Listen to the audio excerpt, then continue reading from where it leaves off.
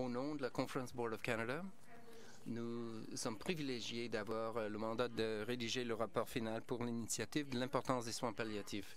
Ce rapport ajoutera ses efforts non seulement en identifiant des recommandations claires en matière de politique qui traitera, traitera des questions et des occasions identifiées dans les constats du sondage d'Ipsos et suite aux discussions des deux derniers jours, qui ont contribué euh, énormément à l'énoncé de consensus euh, qui, euh, que nous entendrons plus tard ce matin.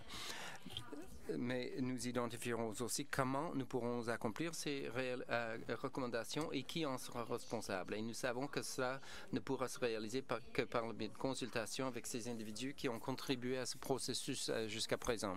Ces intéressés comprennent non seulement Conrad et les panels d'experts, aussi le panel de citoyens, d'autres intéressés, y compris des responsables gouvernementaux et tous les Canadiens qui euh, participent à cette discussion.